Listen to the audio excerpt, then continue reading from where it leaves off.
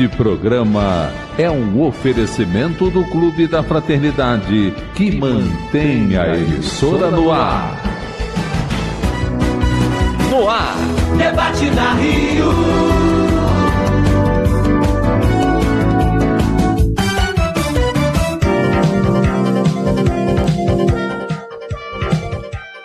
Olá, amigo ouvinte da Rádio Rio de Janeiro, emissora da Fraternidade. Eu sou André Afonso Monteiro, hoje aqui excepcionalmente apresentando o programa Debate na Rio, jornalismo espírita interativo no ar.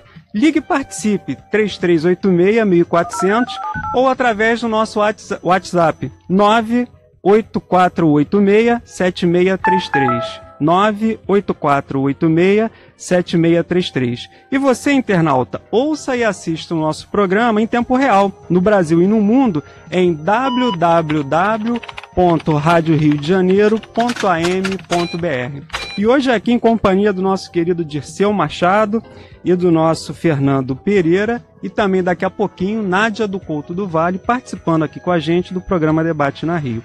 E o nosso tema de hoje, amigo ouvinte, é um tema que de vez em quando nos chama a nossa análise, a nossa reflexão, a percepção dos acontecimentos ao redor de nós, na nossa sociedade, no nosso mundo. Tragédias coletivas.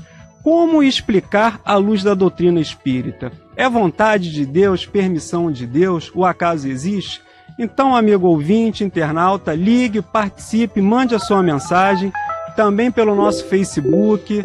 Você pode nos assistir também pelo nosso canal no YouTube. Entre em contato conosco e dê a sua participação.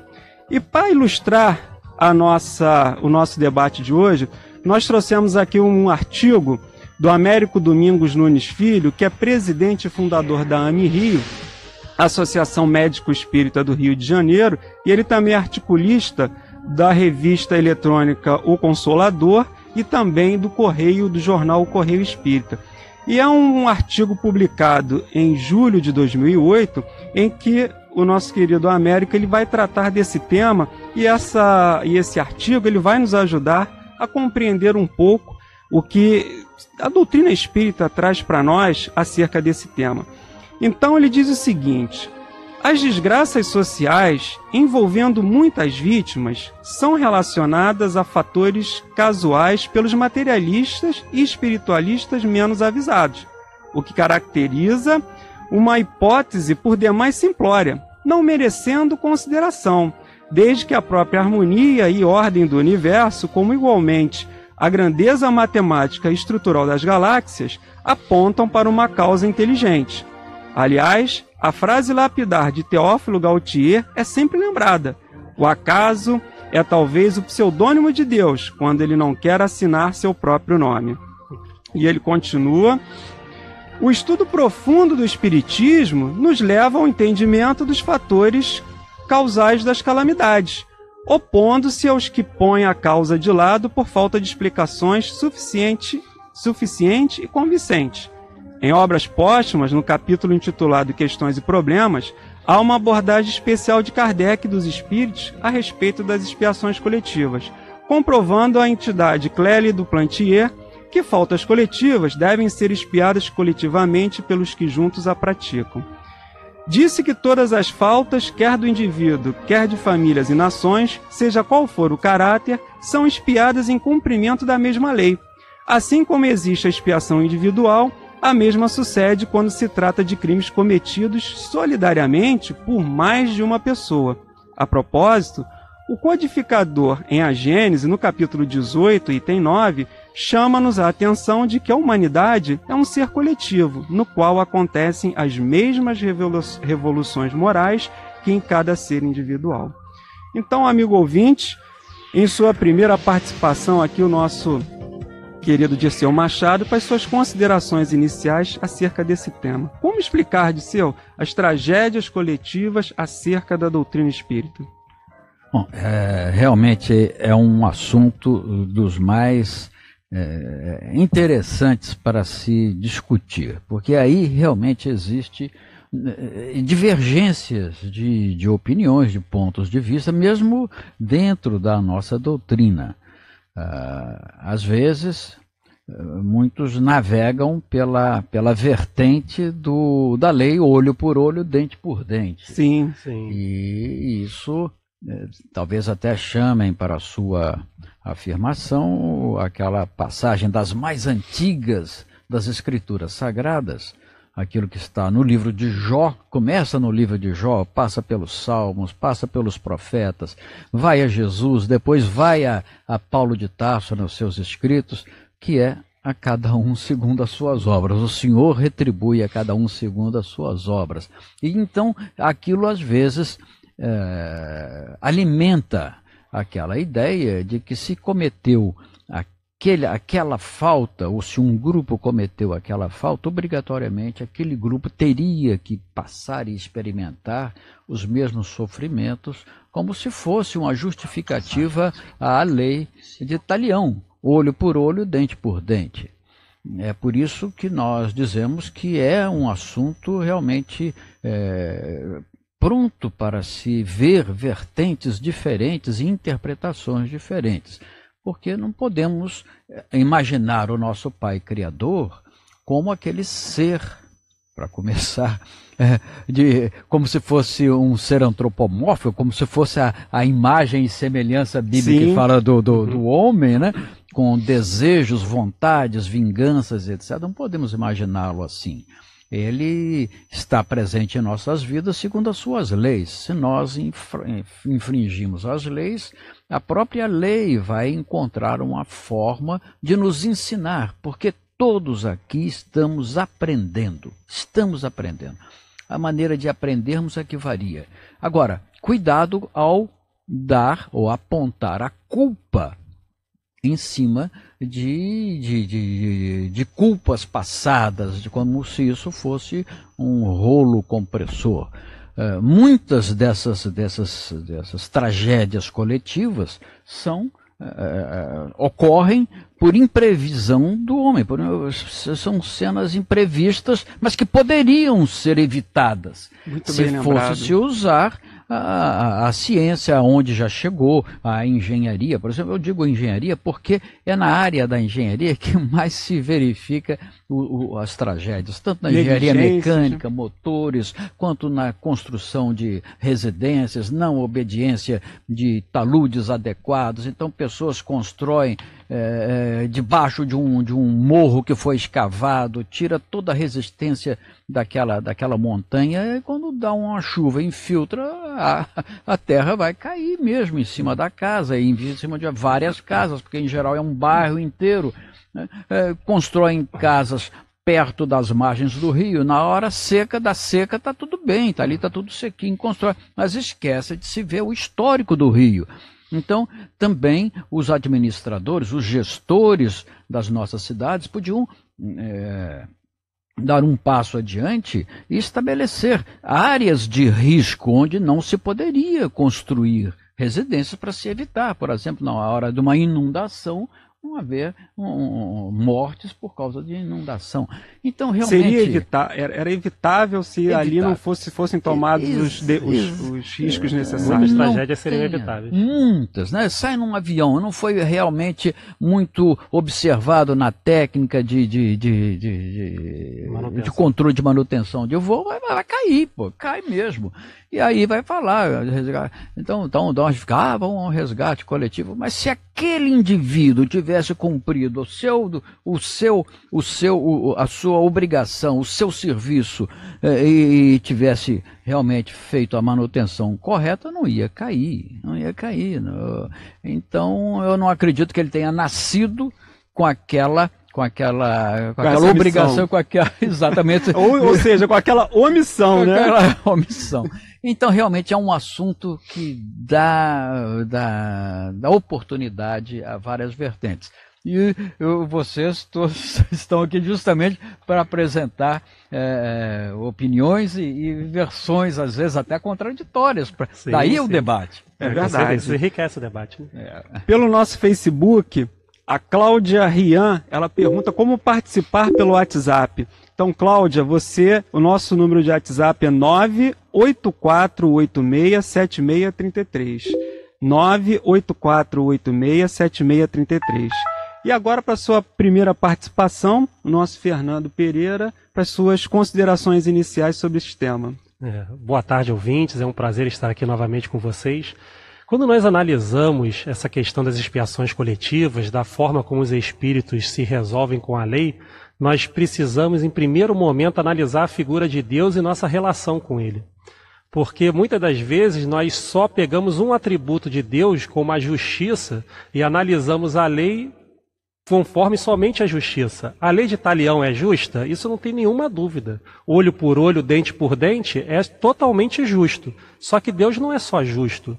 Deus também é misericordioso, Deus também é amor, Deus e portanto a lei de Deus não pode ser algo punitivo para o espírito. A lei de Deus sempre vai visar o aprendizado e o crescimento desse espírito através das experiências que ele tem na vida, seja experiências positivas, seja experiências negativas, como as expiações. Sim. É, nós estávamos até conversando antes, um exemplo que eu vim trazer para vocês, ouvintes. Vamos imaginar nós três aqui cometendo um crime juntos.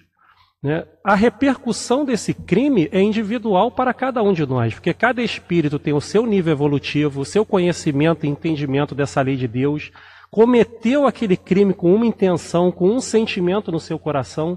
Então, nesse ponto, a gente analisa que a repercussão é diferente para cada um de nós.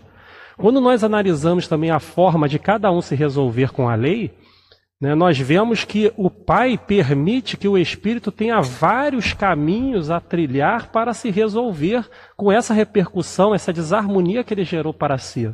Então ele pode escolher, como muitos espíritos escolhem, passar pelo que fez o outro passar, para sentir na pele aquela experiência, a dor que infligiu ao outro irmão. Ou ele também pode, como tem vários exemplos, de servir à humanidade, fazer o bem e seguir também aquele outro ensinamento que diz que o amor cobre uma multidão de pecados. Porque o que nós precisamos aprender é a amar. E é uma escolha do espírito se resolver, se reharmonizar com a lei através do amor, servindo as criaturas. São escolhas que o espírito faz. Muitas das vezes, nas expiações, os espíritos até não têm condições de escolher. Aí a espiritualidade superior até escolhe o melhor caminho para aquele espírito. Mas nós devemos entender todos esses processos não somente pela justiça. Eu entendo muito mais pela misericórdia divina que permite que os espíritos se resolvam com a lei. E quando nós vemos analisando essas duas questões, nós vemos que as expiações coletivas não são a regra. Que cada um segundo as suas obras, então cada um vai se resolver conforme Sim. as suas escolhas. Então, como é que nós explicaríamos as expiações coletivas? Eu também jogo de novo para a misericórdia divina, que permite que, caso espíritos queiram resolver juntos, de repente aquilo que fizeram juntos, ou mesmo que fizeram em determinados grupos diferentes, mas ações semelhantes, possam resolver essas questões juntos. É misericórdia divina. Porque não necessariamente eles estiveram reunidos em algum momento, mas a, a necessidade de reparação que é igual, e aí há uma lei de atração que esses espíritos se reúnam e acabam reparando a, a, sua falta cometida de uma forma coletiva, mas não necessariamente também nós podemos afirmar que estiveram juntos em algum momento. Perfeito. Via de regra, até sim, mas não necessariamente é isso. E, e como os debatedores colocaram, tanto o Fernando como o Dirceu, é que a gente pode, através do amor, reparar estas faltas. Né? Não necessariamente a gente vai passar pela mesma fieira que a gente do, do, do da, da do delito, da, da, da, da transgressão que nós cometemos na lei de Deus. Mas toda vez que a gente escolhe um caminho, e eu lembro até que o Gerson falava isso, né? Que você é como se você pegasse nosso Gerson Simões Monteiro, ele dizia o seguinte, né? É, a cada um será dado segundo as suas obras. Ele dizia, falando até da lei de reparação, ação e reação, é como se você pegasse uma rua e fosse jogando taxinha, pedra, pregos nessa rua quando você ia passando e ia jogando. E depois você chegava lá no final dela, via que ela não tinha saído e você tinha que voltar. Ou seja, você ia ter que passar por aqueles. Mas você pode escolher um meio de, através do bem, resolver as suas questões. Sim. Tem uma, um pedaço aqui da, do artigo, um parágrafo, que o Américo diz o seguinte: Duplantier afirma também que, graças ao Espiritismo, a justiça das provações é agora compreendida e não decorre dos atos da vida presente, porque corresponde ao resgate das dívidas do passado. Depois afirma que haveria de ser assim com relação às provas coletivas, que são expiadas coletivamente pelos indivíduos para que elas concorreram, os quais se reencontram para sofrerem juntos a pena de talião. Aqui ele entra numa, nessa questão da pena de talião, mas a gente sabe que a lei é de amor. E de ser uma vez que a gente escolhe é, as nossas provas, necessariamente a gente não vai escolher ali nos mínimos detalhes, mas a gente escolhe o nosso gênero de provas, de expiações, e nós estamos atrelados a esse gênero, não necessariamente aquele fato no seu mínimo detalhe. Exato, isso é, é, é perfeito. Muitos de nós é, é esquecemos disso, né? É, somos levados por aquele, aquele ditado do Maktub, né? Estava escrito, então Sim. ficamos engessados naquilo que se chama de destino, então tem que passar por aquilo. E nós estaríamos negando o livre-arbítrio. Nós todos Perfeito. temos o livre-arbítrio. Né? O problema é usarmos corretamente essa liberdade que temos de falar, de pensar, de agir, é, porque somos os responsáveis. Somos livres, mas somos os responsáveis. É, por exemplo, não podemos admitir que alguém nasça com, a, a, com aquilo que está escrito, com, a, com o destino de depois ele próprio dar fim à sua vida através do suicídio. Ninguém nasce para depois tirar a sua própria vida. Ninguém nasce com o, com a, a, a, o futuro de, de assassinar alguém. Isso Perfeito. são coisas que são movidas pelo livre-arbítrio, por influências exteriores, influências espirituais, que poderiam todas elas serem, serem evitadas, não é isso? Então, realmente, é, é, é, essa análise envolve todos esses detalhes que a gente tem que imaginar. Não, tem que ponderar, não né? nascemos né? com o Maktub. É Temos o nosso livre-arbítrio para poder fazer as nossas escolhas. Né? Exatamente. Né? Aqui pelo Facebook, Norma de Almeida Guimarães, Cláudia Rayan, Regina Melo na escuta, Heloísa Helena, também pelo nosso Facebook. Boa tarde, amigos, bom programa a todos. Leila de Jesus, também no nosso Facebook. Adoro esse programa no coração de todos. Conceição Quintela assistindo, Ana Paula Menezes, Vera Isaura Aguiar, Fernando Boa Explicação, Precisamos Aprender a Amar. Júlio, Rose Martins, todos os nossos companheiros aqui nos assistindo pelo Facebook. Você também pode participar, amigo ouvinte, pelo nosso WhatsApp. 984867633.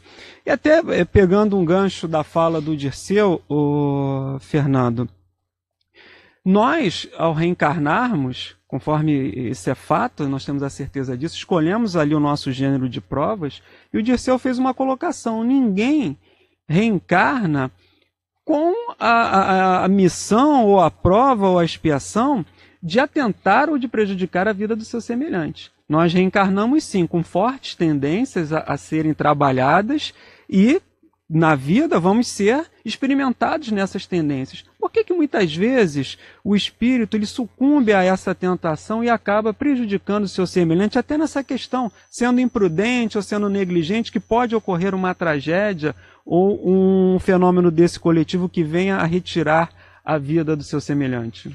É boa pergunta. Porque o que acontece, André?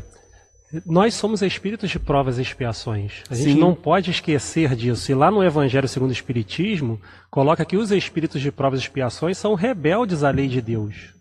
Então nós, determinada caminhada evolutiva, nós deixamos incrustar em nosso coração o orgulho, o egoísmo, essa visão deturpada da realidade, em que muitas das vezes nós trabalhamos em nosso benefício dentro da nossa visão, e não percebemos o quanto isso causa de malefício para os outros. E principalmente para nós mesmos. Nós muitas das vezes achamos que estamos trabalhando em nosso benefício. Não percebemos que essa ação vai trazer consequências para mim lá na frente. E nós precisamos, o quanto antes, por isso, refletir pelo que somos e não da forma que estamos, essa personalidade Fernando. Eu sou um espírito. E como espírito, como é que eu analiso os estímulos que eu recebo nessa minha encarnação? Eu não posso analisá-lo somente com essa visão terra a terra, porque muita coisa não vai fazer sentido e muitas coisas vão fazer com que eu tome decisões e ações que vão me prejudicar e vão prejudicar os outros na minha caminhada. Isso tem a ver com aquele famoso vício que é a raiz de todas as demais paixões que os benfeitores respondem para Allan Kardec, que é o egoísmo. Né? É quando eu vou colocar o meu interesse pessoal, individual, acima e à frente dos demais interesses coletivos. Né? Não, perfeito. É esse que é o grande mal da humanidade. Porque muitas das vezes ninguém, poucos de nós, é, é, eu diria, vamos fazer o mal porque queremos fazer o mal. Geralmente nós queremos fazer o bem para nós e não nos preocupamos com a consequência que isso vai ter para o outro.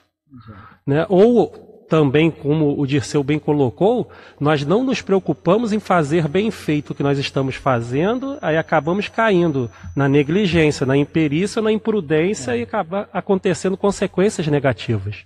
Nós precisamos o quanto antes, é, e eu vou citar agora o Evangelho segundo o Espiritismo, lá no capítulo 2, item 5, que fala do ponto de vista, nós precisamos avaliar a nossa vida e todas, tudo que nos acontece do ponto de vista espiritual. Sim. Isso vai mudar completamente a forma como a gente vive a nossa vida, faz as nossas escolhas e, inclusive, sofre por, pelas situações negativas que nos acontecem. Vai mudar a nossa visão de vida. Sim. Aqui pelo nosso Facebook, Gesselano tem uma pergunta, mas como o nosso tempo do primeiro bloco já está se aproximando, a gente vai deixar para o Dirceu responder no nosso retorno.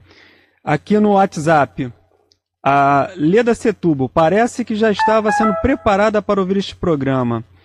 Elcia Batista, parabéns, amigo querido, obrigado pelo convite para recebeu aqui o compartilhamento importante, né? A gente compartilhar no Facebook o programa ao vivo da Rádio Rio de Janeiro para que outras pessoas também possam conhecer a rádio, mesmo que não sejam espíritas, mas é, esse, esses ensinamentos que nós trazemos aqui, a, a, a programação da Rádio Rio de Janeiro é uma programação para toda a família que todos podem ouvir, que não tem a censura, não tem aquele problema de censura. Você pode ouvir tranquilamente. Então é importante a gente divulgar a rádio, pedir o compartilhamento através do Facebook, através das redes sociais, para que mais pessoas possam ter acesso à doutrina espírita. Então tem aqui também a Cris, encarnamos para progredir sempre. Vimos com carteira de trabalho, não com passaporte. Esse é, é uma. É, é, comenta um pouco, o, o Dirceu, vimos com carteira de trabalho, não com passaporte. A gente não veio aqui para passeio, né? A gente veio para trabalhar. Exatamente, vemos para trabalhar e trabalhar e estudar, né? As duas coisas, como devemos estudar também e ah, trabalhar. Sim. Realmente o, Chico nos indica e nos ensina muito isso nos seus livros, Emmanuel nos dá essa indicativa. Conhecereis a verdade e ela te libertará, né? É, Maria, Dolores, Maria Dolores tem um poema lindíssimo falando em trabalhar, trabalhar. Você já, você lembra? Eu não lembro todo ele, a memória já não me ajuda mais tanto, mas é lindo. Realmente viemos para trabalhar. Aqui pelo nosso Facebook, Vanessa Albernaz, Heloísa Helena, gostando muito do debate, Fernando Dirceu contribuindo com boas explicações, e Ana Santos, ainda temos muito que aprender, Adriana do Vale, a felicidade é uma certeza para todos nós, Sônia compartilhando sempre, Leda Setubo, que bom, Conceição, estamos juntas e em sintonia. E aqui chegou a nossa querida Nádia do Couto Vale. Seja bem-vinda, Nádia. Tudo bom, querida? Tudo bom, graças a Deus. Nós faremos agora uma pequena pausa, retornaremos em seguida e aí vamos dar continuidade ao programa Debate na Rio com o tema Expiações Coletivas. Debate na Rio.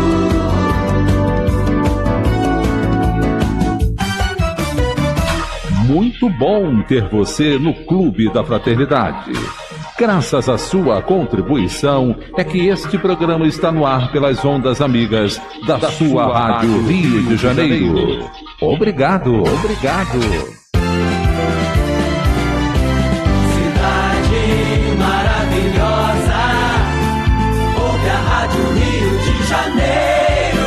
Construindo um mundo melhor. 1400 AM, a emissora da Fraternidade.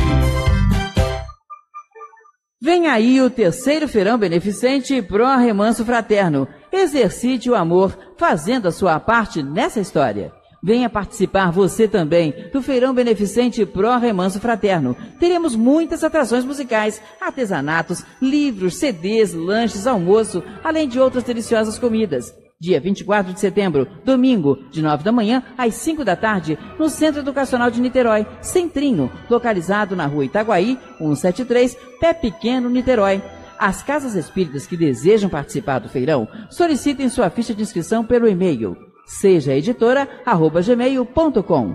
Esse é o terceiro feirão beneficente Pro Remanso Fraterno. Mais informações pelos telefones 021 2601 3296, 2620 7566 ou através do Facebook Terceiro Feirão Beneficente Pro Remanso Fraterno. Vânia Barbosa, a Rádio Rio de Janeiro está ligando para todos os mantenedores ativos do Clube da Fraternidade com o objetivo de solicitar a indicação de um, dois ou mais amigos para o Clube da Fraternidade.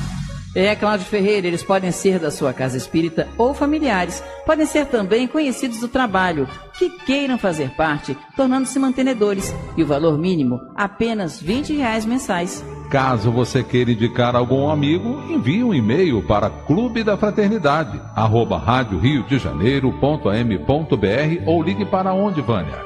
DDD 21 3386-1404 ou 3386-1422, informando o nome completo, telefone de contato e, se possível, e-mail. A Rádio Rio de Janeiro agradece a todos os nossos mantenedores. Juntos somos mais!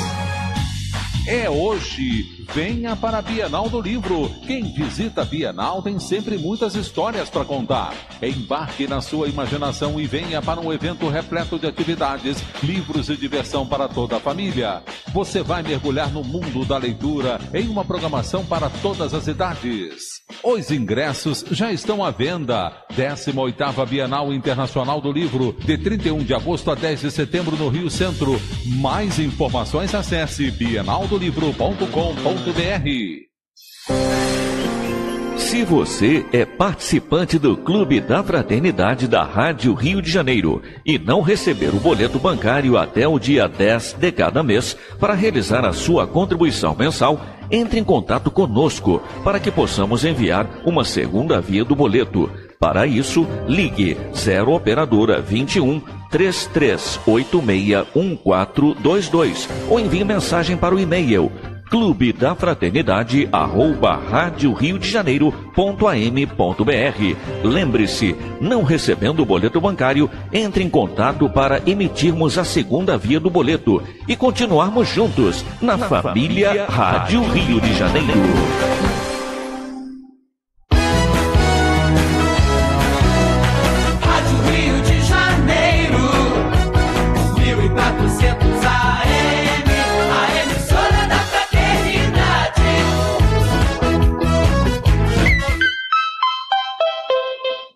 Treze horas e vinte e oito minutos.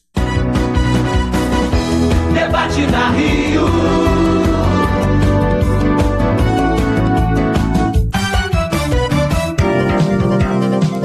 Programa Debate na Rio, jornalismo espírita interativo no ar. Você pode ligar e participar através do nosso telefone 3386-1400, também através do nosso WhatsApp 984867633. E você, internauta, pode participar também e assistir o nosso programa em tempo real no Brasil e no mundo através do nosso site www.radioriodejaneiro.am.br e também através do nosso Facebook. Você pode procurar, é, compartilhar, é, seguir a Rádio Rio de Janeiro no Facebook e nos assistir ao vivo. E aqui agora, brindados com a presença da nossa querida Nádia do Couto Vale, que vai fazer as suas considerações iniciais, Nádia. Expiações coletivas. Como explicar, à luz da doutrina espírita, esses fatos? acaso de Deus, vontade de Deus, como explicar à luz da doutrina espírita esses fatos e fenômenos que têm, de vez em quando, envolvido a nossa sociedade? É um filósofo racionalista, o Malebranche, ele disse que o acaso é a mão de Deus. A doutrina espírita pode, porque também é racionalista, Sim. ela pode assinar isto, porque isso está dito explicitamente em toda a obra de Kardec e também em todas as obras subsidiárias. A questão é como é que se arranjam as circunstâncias para que determinadas criaturas, aparentemente sem nenhuma vinculação direta, né? sem o perfil Sim. completamente diferente, origem, de repente aquelas pessoas estão lá postas em um voo, digamos Reunidas. reunidas. Pelo não é isso? acaso? Pois é, pelo acaso. É, a- a- nós aprendemos com agora a física quântica, mas esse é um princípio que está enunciado faz dois milênios e meio lá nos pré-socráticos, que é a lei da interconectividade. Na verdade, nenhum de nós escapa a estar ligado a tudo. Nós podemos nos ligar mais diretamente pela nossa vontade ao que Sim. nós desejamos, no caso, nós, que já assumimos esse compromisso para com o Evangelho, para com Jesus, evidentemente, para com a doutrina espírita. Mas nós também estamos ligados pela negatividade, quer dizer, não queremos isso, são valores negativos na nossa escala de valores. Então, como é que essas criaturas estão lá reunidas? É exatamente por causa desse princípio que a ciência prova, particularmente a física, não só a quântica, mas outras eh, instâncias ou manifestações que constituem o campo da física, e também da química e às vezes da bioquímica, essas criaturas estarem ali Ligadas. jungidas, né? Quando nós, de- você me desculpe, ouvinte, eh, quando eu não consigo ver uma outra, eh, um outro paralelo de comparação, mas por exemplo, nó- você vai ao shopping e você não precisa abrir nenhuma porta, ou em outras circunstâncias, porque no que você pisou ali, abre-se a porta. né? Do ponto de vista do magnetismo, isso também ocorre na vida para nos unir. Quando chegado é o momento, é como se nós estivéssemos diante de uma porta, pisássemos ali na proximidade e aquelas células fazem que se abra a porta. Sim. É exatamente o que acontece no caso das expiações coletivas, quando não há outro motivo para, pela nossa razão, que explique aquela reunião ali de seres tão díspares. Formação cultural, às vezes de outros países, estão fortuitamente, aspas, naquele local, etc. Então, é desse ponto de vista que nós podemos entender o que se realiza a partir da vontade divina, que é uma vontade maiúscula, mas não é por maldade.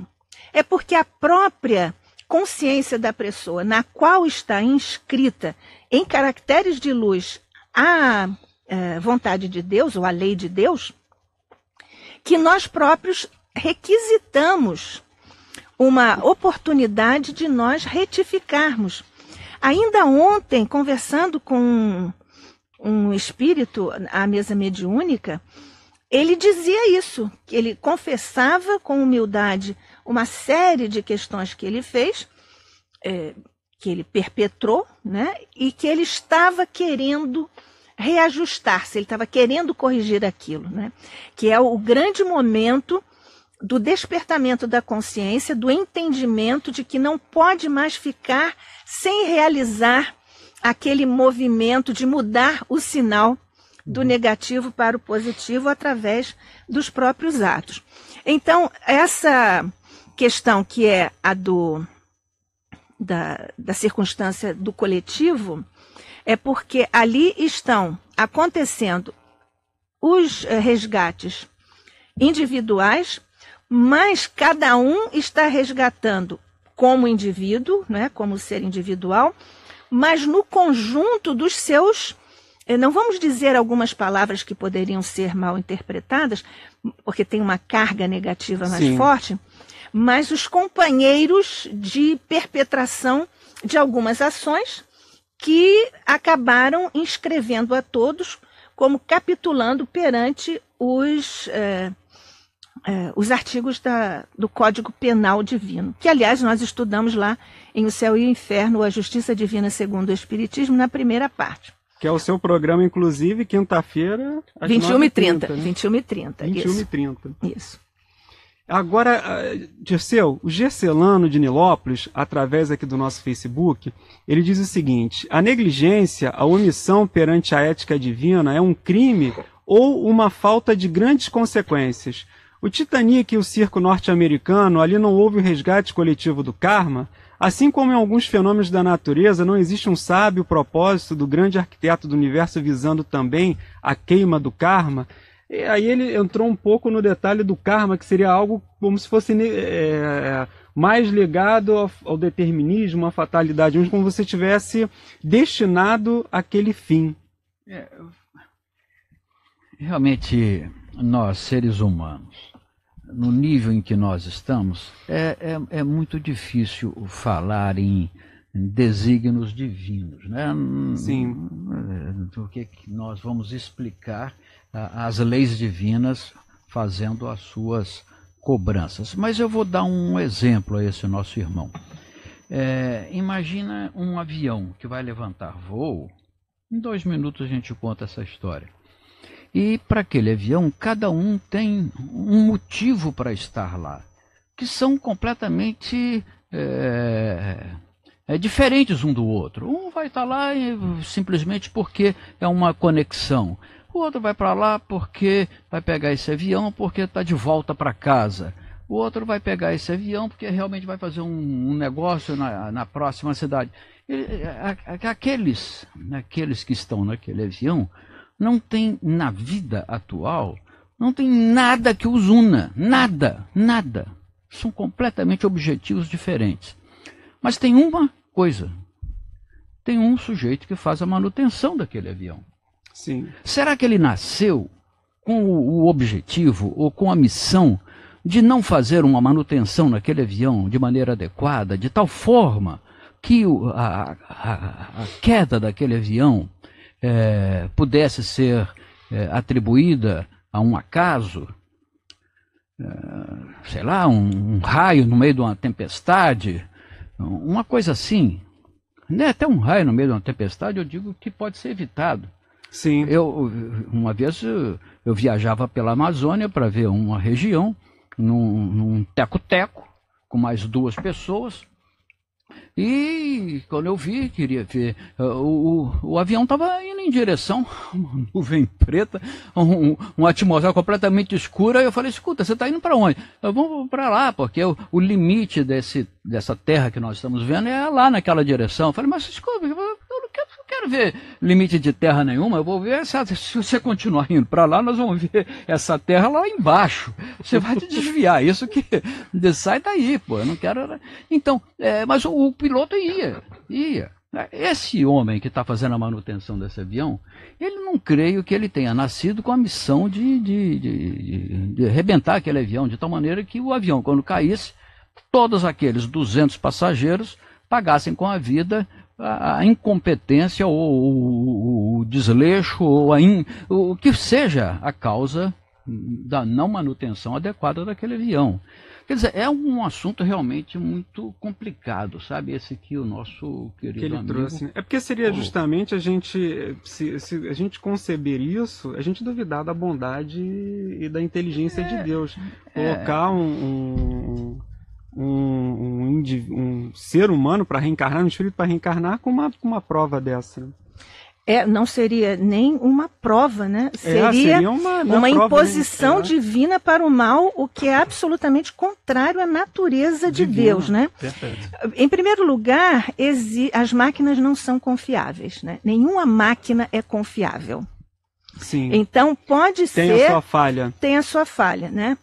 Ou por é, falha na linha de produção, né? Que escapa à supervisão, Sim. ou na, na própria é, manutenção, mas do ponto de vista de ter havido uma manutenção e algum elemento daquela máquina não responder ah, adequadamente, o que faria deste operador, deste mantenedor, é, a pessoa absolutamente isenta. Ele fez o que ele tinha que fazer, é, eticamente, fez o seu trabalho.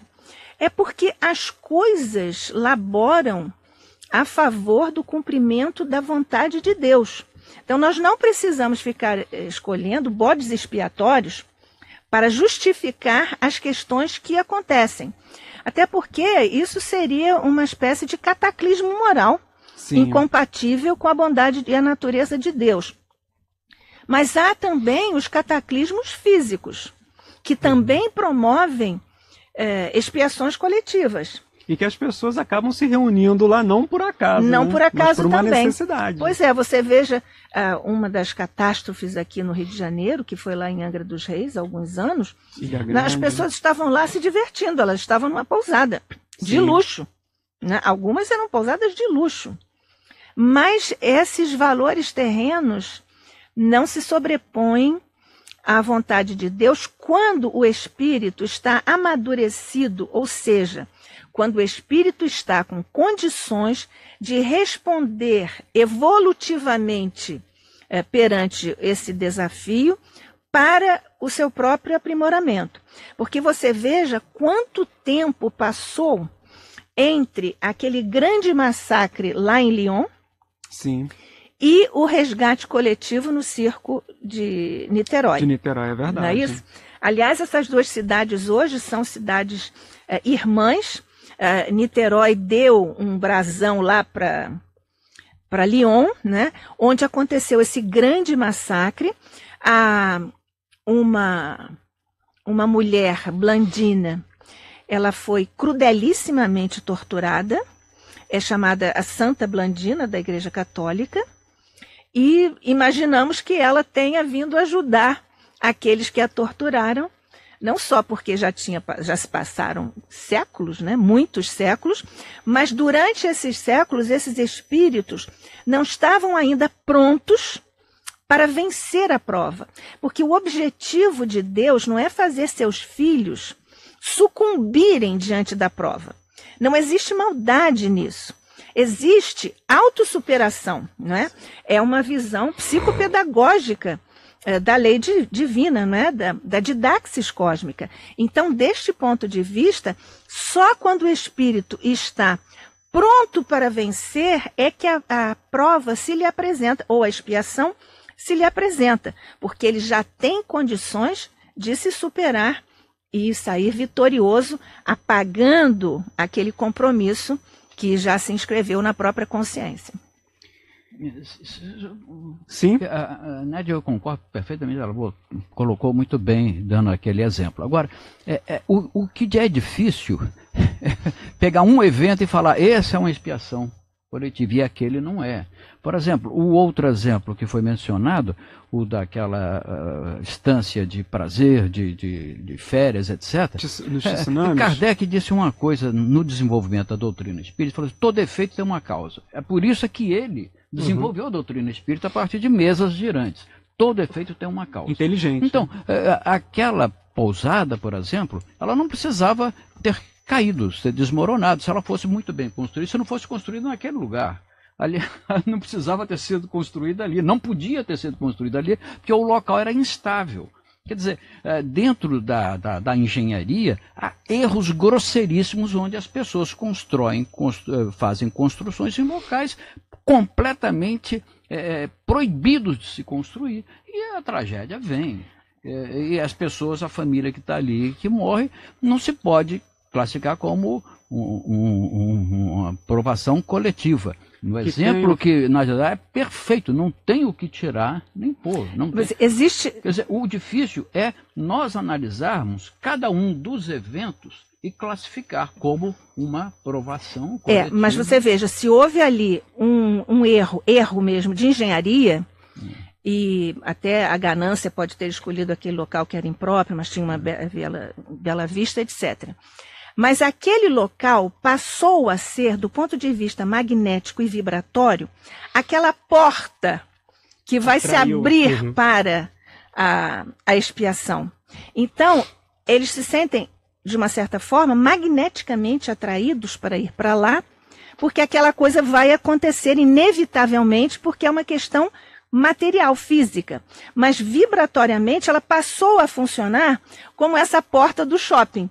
Nós somos atraídos, queremos ir para lá, ainda que do ponto de vista não consciencial, mas no, no subconsciente, no psiquismo profundo, o espírito quer é, resolver aquela questão. Então, aquilo, por causa do erro de geografia, de engenharia, de engenharia, aquilo passou a funcionar para esses fins expiatórios como aquela porta do, é, do, do, shopping, shopping. né? É. E depois, como é que nós identificamos, do ponto de vista conceitual, expiação e prova? A Joana de Ângeles trata dessa questão, como sempre magistralmente ela faz em tudo, né? Naquele livro Plenitude, né? A expiação é como uma espécie de cirurgia que você, depois de ter esgotado os vários recursos, né, você tem que passar pela cirurgia para resolver o assunto. Mas antes disso, a lei nos oferece várias oportunidades para nós retificarmos os nossos caminhos, são as provas. Quando nós estamos em provas, nós temos a condição de, entre aspas, negociar com a lei. Né? Nós podemos adiantar um pouco, é, reformular. reformular, podemos adiar um pouco determinadas situações, algumas relações e tudo. Quando nós já esgotamos todas essas oportunidades e só fizemos descer o tobogã moral, né? Aí a lei vem para corrigir. E aí é o tratamento cirúrgico da expiação. Com a expiação, não existe mais negociação, colocando entre aspas, negociação perante a lei, porque já esgotamos as nossas é, antecedentes oportunidades. E lembrando também nessa questão, como o Dirceu colocou, que aquele, vai, aquele que for negligente, que foi imprudente, ele vai responder perante as leis de Deus, por mais que a, aqueles companheiros tivessem que passar por aquela experiência, eles vão responder perante a lei de Deus pela sua negligência, pela sua imprudência, pela sua omissão e que causou aquele resultado ali trágico para as pessoas. Aqui pelo nosso WhatsApp, a Maria Angélica do Recreio, ela diz o seguinte, né? Boa tarde a todos. Muito importante estes esclarecimentos. Muitos que se dizem espíritas acusam irmãos em grande sofrimento. Realmente acreditam em um Deus justo, mas cruel. Muito obrigada por, por, falem, por falarem de Deus que é amor, a misericórdia. Amor e misericórdia. Maria Angélica Ribeiro. Fernando, ela está colocando aqui uma questão porque quando a gente vai. É, é, pessoas defendem, ah, se passou por isso é porque ou foi um criminoso em uma outra vida, enfim, aquelas questões que não vão levar ao esclarecimento e nem a, a nenhum amparo, nenhuma consolação para a pessoa. Então, muitas vezes se utilizam do conhecimento para dar uma, uma informação que pode ser negativa para os familiares, para aquelas pessoas que passaram por aquela situação daqueles entes queridos. Ah, com certeza. Nós temos que avaliar, é, e, e, essa questão que ela colocou é muito interessante, porque quando o espírito, nós damos muita importância aos atos. Isso é uma, uma visão muito material que nós temos. Mas quando nós analisamos o que a doutrina espírita nos traz, o ato ele não é tão importante. O que é mais importante é a repercussão deste ato para o espírito, seja positivamente como seja negativamente também. A repercussão para o espírito, que aí vai entrar aquelas questões que a gente estava falando do sentimento, da intenção, do nível de entendimento que aquele espírito tem com a lei. Agora, essa repercussão vai se dar tanto na hora que o espírito comete o mal, como também na hora da expiação ou da prova que ele passa. Porque se nós quatro aqui passarmos por uma expiação coletiva juntos, a repercussão dessa experiência vai ser individual para cada um de nós também. Vai ter aquele que vai ter um maior aprendizado e uma maior evolução naquele processo, como vai ter outro que de repente pode se revoltar e, e conseguir até uma desarmonia ainda maior com aquela mesma experiência. Por isso que nós temos que estar muito atentos são a como nós reagimos às situações da vida. Né? Muitas das vezes, como ela bem colocou, nós julgamos muito é, determinados irmãos que estão em sofrimento. Ah, se ele está passando por isso é porque ele sofreu, ele fez muito no passado. Não necessariamente. Pode ser um espírito em missão para poder mostrar para a gente como é que se passa pela dor e pelo sofrimento de uma forma adequada. Nós não temos como avaliar o caso concreto, esse ou aquele espírito, é prova, é expiação, é missão. Não tem como fazer isso. Só Deus sabe isso. E, o, espírito. E o espírito guia dele que ajudou na, na, na, confecção da sua, da sua programação espiritual. E a Joana de Ângeles. Cego de... Ah, desculpa. Não. não Pode falar. O cego de nascença, né? Que ah. nós sempre falamos, é, né? Nasceu sim. cego de nascença. Não, pois é. A e gente a jo... julga muito, né? Missionário, né? A Joana de Ângeles fala dessa expiação aparente, que nós aqui, em termos mais populares, é denorex, né? Parece, mas não é.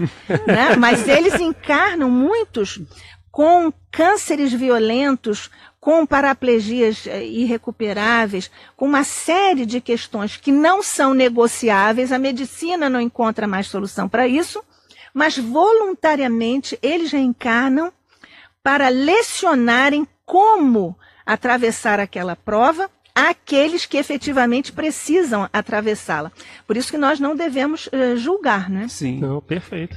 Aqui pelo nosso Facebook, Dirceu, Humberto Júnior. Como podemos entender a proposta divina para aqueles que sobrevivem a uma tragédia coletiva? Um abraço a todos. Bom, é, se nós formos classificar o evento, o acidente, como uma prova coletiva, nós vamos, então, somos obrigados a classificar aquele indivíduo como é, ele está ali como um elemento espúrio, ele não devia estar ali. E salvou-se, porque ele não estava escalado para morrer, não era, não era a sua hora. Né? É, é, a única explicação que tem. Mas mesmo assim ele aprende com aquela experiência, aprende. né? Porque Como aprende? Ele, Eu acho que ele sai dali falando assim, estou, estou, é, é, quase. Ele vai dizer quase, né? Quase. Mas por quê? Porque do ponto de vista não consciencial, ele não se sentiu atraído para ir lá pisar para a porta se abrir. Sim. Né? É porque ele não sentiu isso, não teve essa inclinação para, para aquela vivência. É, esse conceito que a Nádia traz é, é, muito interessante. Quando a gente analisa a evolução em dois mundos lá com o André Luiz, quando ele Isso. coloca o espírito como co-criador em plano menor nesse Isso. universo, todos nós, como espíritos, nós vamos co-criando a nossa realidade Sim. e as nossas necessidades dentro da nossa encarnação. E colaborando coletivamente. Né? Sim. Exatamente. Você veja o valor da obra do André Luiz, né? Ah, eu adoro Que é uma André coisa Luiz. espetacular. Ele antecipou a física quântica, né? Nádia, por um minutinho, não sei se você Nossa. vai conseguir, porque já estamos aqui quase esgotados. A Kika Cavalcante, ela pergunta, este tema fala da humanidade pelo nosso Facebook. Este tema fala da humanidade e da coletividade. Quais são as possibilidades de conseguirmos transformar, de alguma forma, os efeitos desses acontecimentos no momento dos fenômenos? A física quântica explica que podemos interferir nesses fenômenos. Ah, pois é, né? Isso é uma expiação que você está lançando sobre mim, com um minuto, para falar sobre essa questão. Isso é uma, eu, amigo ouvinte, eu estou em condição expiatória aqui, porque é uma Só questão. Pergunta já foi um minuto, né? Já foi um minuto, acabou o tempo, né? É, na verdade, como você disse que nós somos co-criadores, tudo está sob o pensamento de Deus. E o pensamento de Deus rege tudo. Nós regemos até certo ponto. Uhum. Né? Nós podemos modificar a, os eventos, mas não no momento exato, porque nós não estamos ainda nesse nível de fazermos como Jesus fez, de, por exemplo, aplacar a tempestade no ato. Não é? Nós podemos, a física quântica nos ensina que mudou o paradigma, mudou o ponto de vista, cada um de nós passou agora a integrar a realidade dos fatos no momento em que eles ocorrem, mas nós ainda pensamos fraco, digamos assim, para interferirmos efetivamente na condução eh, dos fenômenos. Isso, por enquanto, é uma questão para Jesus, né? A, a Faltaram... musiquinha já. Já, já é. pois é. Também é outra expiação outra do Michel expiação, conosco, é. né? Deixa ele com a gente. É. Então, prezado ouvinte, agradeço aqui a participação de todos, a participação da, da nossa querida Nádia do Couto Vale, que apresenta também o programa Luz na Penumbra, o estudo do livro Céu e Inferno, toda quinta-feira às 21h30. O nosso Dirceu Machado também com o programa Ondas de Luz, sábado às 13 horas também com reprise quintas, 4h30, quintas, 20 horas. E o nosso Fernando Pereira também, que participa do programa Educar para Crescer com a nossa Marilena Mota. Então a todos, uma boa tarde, fiquem em paz e até o próximo programa Debate na Rio, se Deus quiser. Debate na Rio.